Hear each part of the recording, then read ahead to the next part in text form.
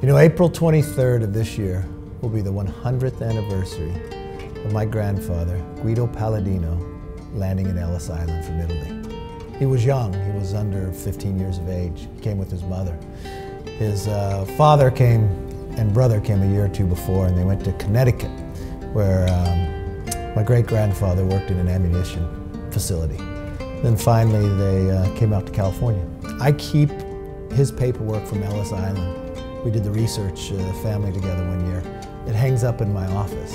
I never got to meet him. He was my grandfather. He died before I was ever born. But to think that his grandson can serve in this people's house. Uh, that's what America's about. We're, we're more than a country, we're an idea.